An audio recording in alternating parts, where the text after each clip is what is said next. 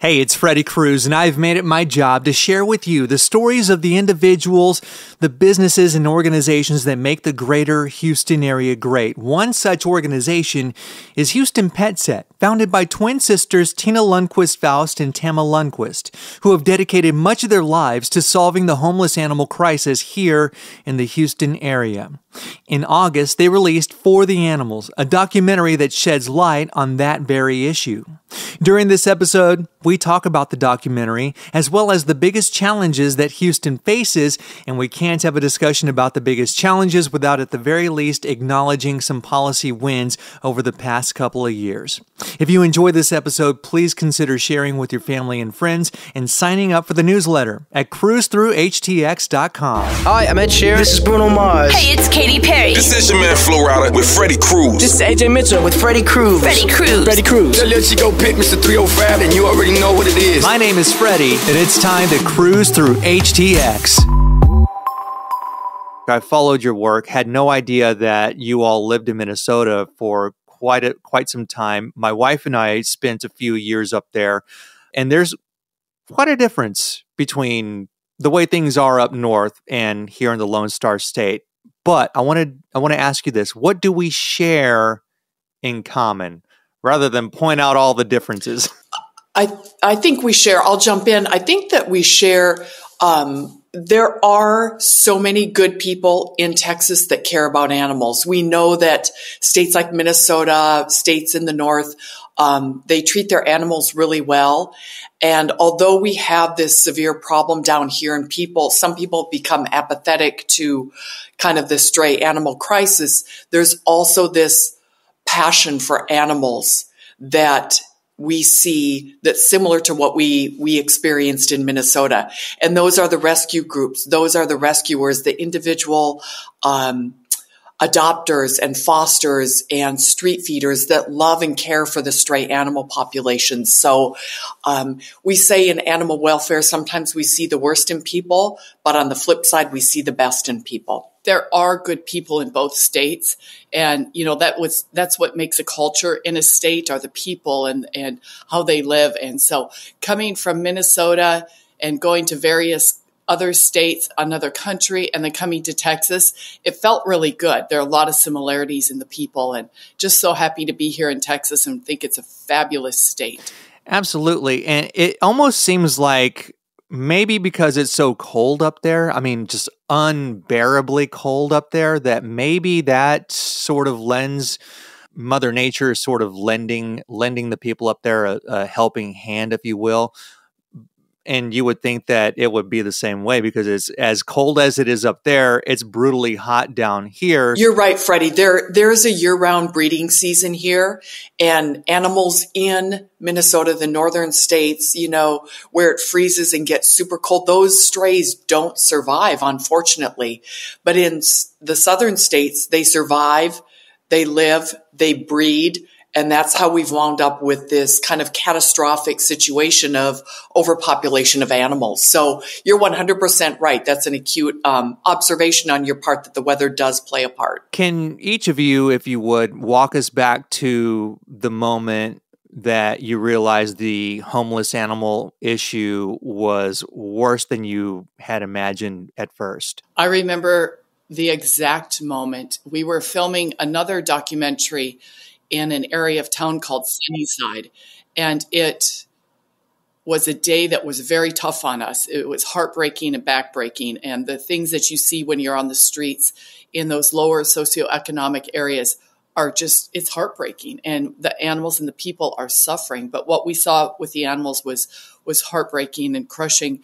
And I remember thinking, we'll never we'll never get out of this problem until we figure out what the problem is. And I remember saying that to the documentary filmmaker who was also looking for solutions.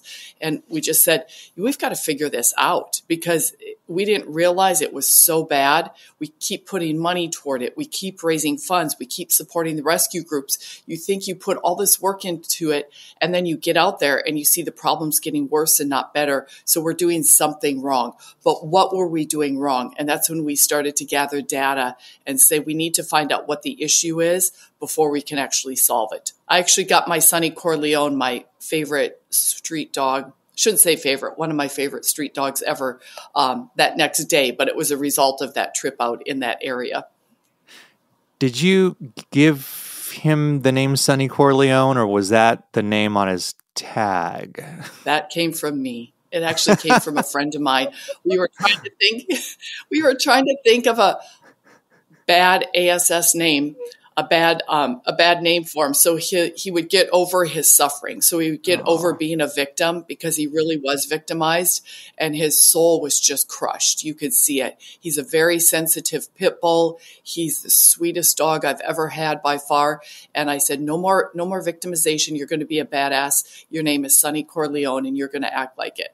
And um, but he's also our Sunny Bunny and our Sunny and our Sun Bun. And so on the other side, Sunny can be a very sweet name too. Do you want to jump in, Tena? Um, yeah, he is. He is one of the sweetest dogs ever, and and uh, we do call him Sun Bun a lot, you know. And he is the sunshine in our lives. So. Um, yeah, he's a good one. What do you and again, I'd like to get an answer from each of you. What do you do? Because it, w- watching the documentary for the animals, it, it it was equally heartbreaking, and then also you provide hope, and there is a lot of humor to sort of balance everything. But I mean, the heartbreaking parts are are still heartbreaking, and you know the issue is still there, like as we speak there are animals, whether it's Sunnyside. Uh, my family lives in, and we call it the brown part of Fifth Ward, um, and the animals are are just they're all over the place. My dad helps quite a few of them um, as much as he can, and so what do you do to keep fighting this fight? When it seems like you don't have any gas left in the tank? I, I, think there's two things that fuel that. I think number one, we have hope. We believe that this problem is solvable. And that's what we hold on to. We're problem solvers by nature. And we see the hard work by our rescue partners, by the people doing street feeding. And we want to share that hope with them so that they continue to believe that this is solvable. Also, when you see the problem, you, you, you you can't look away. As much as we love animals, as much as other people in this what we call industry business love animals, once you see it, you you can't ignore it. You have to do something to help. And so I think that that fuels us more than anything is even if it's one dog, and I don't mean even, that's a heartbeat, that's a soul. Even if it means we provide veterinary care and boarding until it can go on a transport, that keeps us going because it's one more. I got a photo this morning of a dog named Bump whose life has been just tumultuous. And um, he finally found his home on 30 acres in northern Minnesota with his mom named Ashley. He was, a, you know, a dog that got dumped here in Houston, and he's a purebred bloodhound. Those are the things that keep us going. So we we cherish those those big wins and small wins. I, I would agree with Tena. It's it's the heart, the compassion, the empathy, um, the need to problem solve, the desire to problem solve that really fuels this. And what we've seen over the last 20 years is enough motivation to keep us going the rest of our lives. We don't need to see any more, but we do see we do see terrible situations every day. So we're continually slammed with this motivation. And I think that if we couldn't help them, it would hurt our hearts even more. The ability to act upon seeing that suffering and suffering because we're seeing the suffering.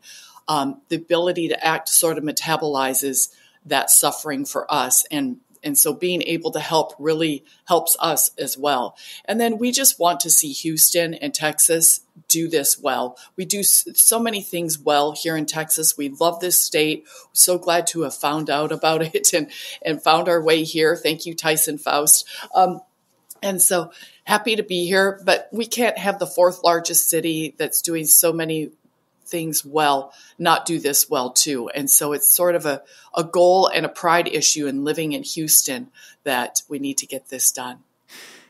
Yeah, and I want to piggyback on something that you had said because it's like you you can't when you once you see it, once you see an animal, and it doesn't even necessarily have to be a dog, it could be a cat. Um, but you see an animal suffering because maybe it got hit or maybe it's just loose and stray, it's emaciated, it, it's got mange or or what have you.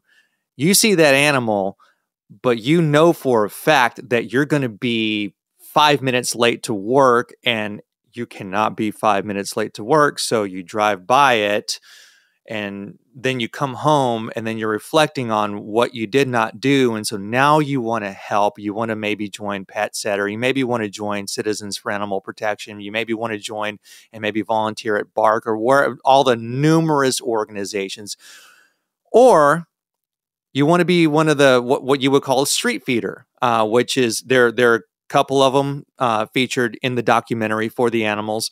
I wouldn't necessarily call my dad a street feeder. They kind of just migrate to his to his house. Uh, he's almost like a like an Ace Ventura type. He even lets a couple of them in. Uh, shout out to Red and Chata; those are the dogs. Um, and uh, yeah, I mean, my dad, he's a he's a hero. He's a beautiful soul. And um, but but what what advice, I guess, tactically speaking, because you all are on the ground, what advice would you give to somebody who sees one of these animals and they are at the end of the day animals and there's that instinct and they're scared, they're anxious, and there's that propensity, that likelihood that they'll, you know, do something? I think I uh, that's a that's a great question because um, people in Houston probably see it often, unfortunately. And what do you do? The number one thing that we always um, encourage is safety. Don't get in traffic. Don't, you know, get hit by a car. Be careful of animals. Be careful of the surroundings um, that you're in. But if you can get that dog in your car and bring it home and temporarily um, hold it, that's one of the best things you can do. But that's not available to a lot of people. Um, you might have dogs at home, you might have cats, you might have children. It might not be a safe situation, which is why we strongly advocate for open intake in our shelters. Right now, Freddy, we're at a, a situation or a, a program called managed intake where you need an appointment to bring a dog to the shelter. So, Freddy, if you were on your way home, you picked up a dog at three o'clock in the afternoon and it was a Thursday, you would have to make an appointment to get that dog into BARC we believe that the shelter should intake animals. And unfortunately, it might increase euthanasia rates, and that's super controversial. But is it better to leave that dog potentially um, at risk on the streets? Or is it better to give it a chance in the shelters where a rescue group could potentially pick it up and and and give it a home? It's there are a lot of things that play into it, but our, our guests to answer your question, the best thing someone can do is probably take it, bring it home and, and try to foster it and reach out to someone like Houston PetSet to help. Do you want to build on that, yeah. Tama? I, I, yeah, I totally agree. And it brings up the bigger issue of leadership in this city and this county and why we have managed intake and how they're worried more about what their live release rate is than they are about the animals on the street. And it's something we need as citizens to think about and talk about. Um, as Tena said, the animals, the hundreds of thousands, maybe close to a million of strays on our streets are suffering. They don't have the resources like a squirrel or another animal has because we've taken that away by domesticating them. So it's our responsibility, moral and ethical, to care for them and make sure they have the resources they need. Without the shelters being open because I've lived in other cities. You you have Tena has you you call a dog catcher, you call a shelter, you call somebody when you see a stray. You don't have that in Houston, and it's almost no. unheard of for a large metropolitan city not to have enough ACOs slash dog catchers to come out and pick up a stray, which is why the private and nonprofit sector is doing the lion's share of the work. So yes, please try to take that animal home. If you can, please care for it. Please reach out to Houston PetSet. We can help with cost. but also please talk to your leadership about the importance of taking care of the animals over the reputation and over pandering to this live release rate, which um, it, it, really only hurts the animals in the long run. My dad, you know, I'm talking about him quite a bit here. Um, my my dad, he was getting gas. There was a Burger King by the gas station uh, over off of 59 in Collingsworth area. He sees the truck, right? And basically, what you would think would be a dog catcher. Um, and he's like, hey, there's there are a lot of animals and I can't, you know, I can't be taking care of them. It's not safe. Can you do something about it? He l- unravels this list. These are all the reports I've got to answer to. And so essentially, no. And there's a backlog. And that is so heartbreaking. Uh, because to your point, and you make this point in the documentary that we we made a pact with these animals, whether whether or not it was you two specifically or me this our ans our human ancestors made this pact and it's a long lasting lifelong pact that pact that we made with these creatures to take care of them. And so y'all it's election season. We're glad to have a change. We also are making this uh, a platform issue. We, as Houston PetSet co-presidents, created a not created but organized a forum for the mayoral elections to talk about this this issue.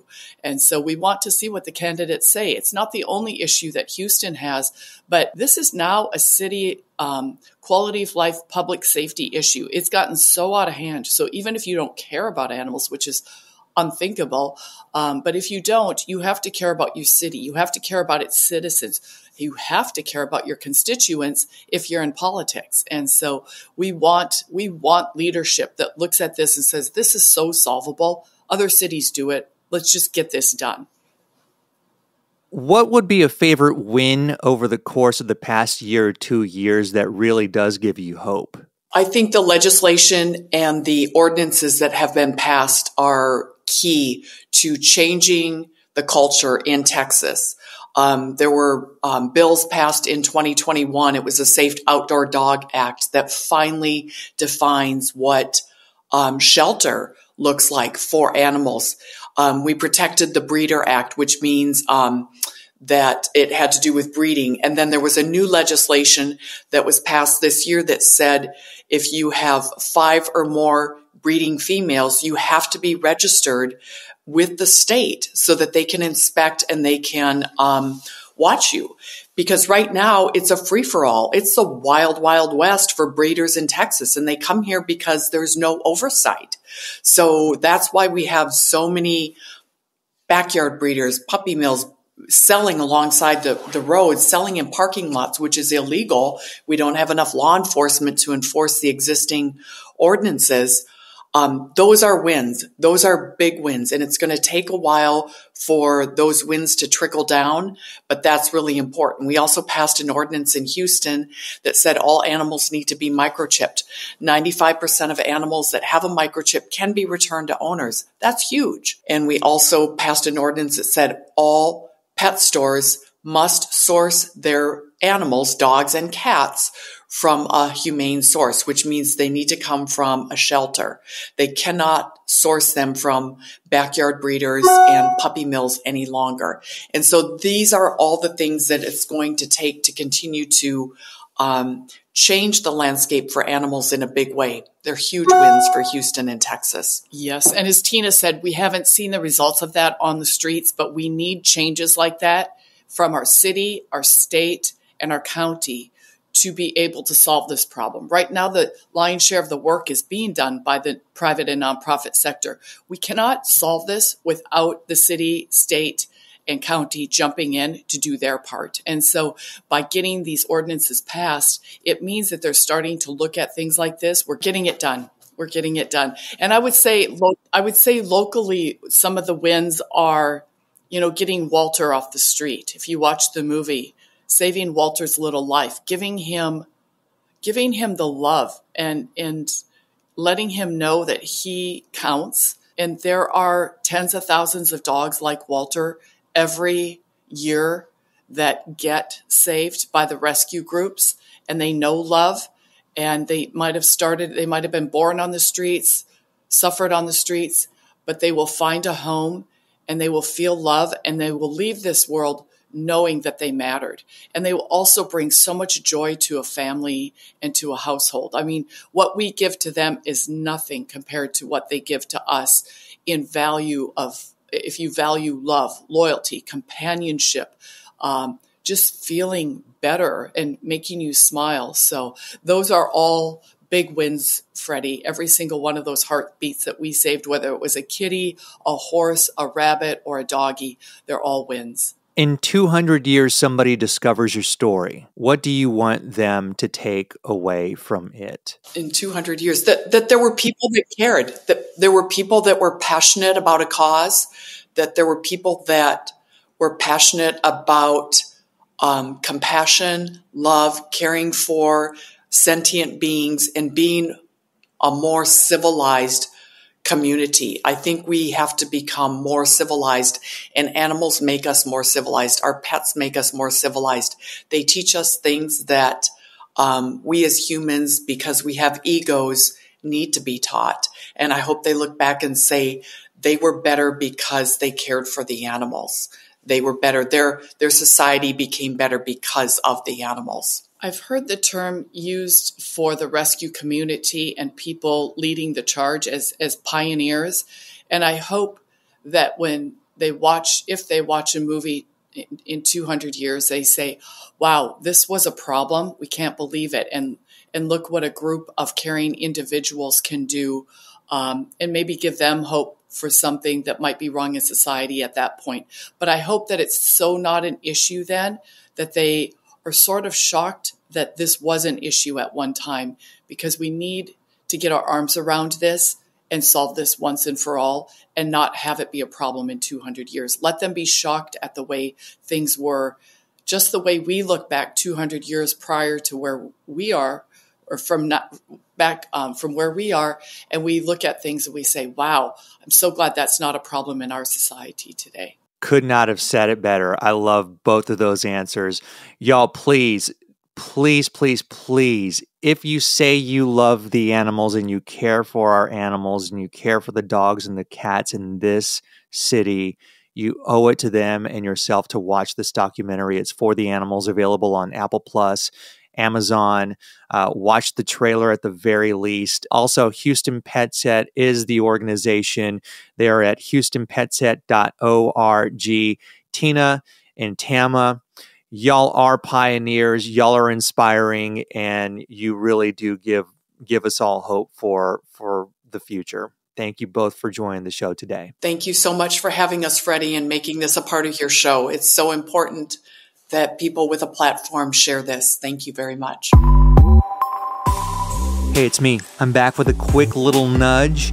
If you enjoyed this podcast as much as I did putting it together for you, then please leave a review on your favorite podcast platform and subscribe to the newsletter at cruisethroughhtx.com and share with your family and friends. Thank you.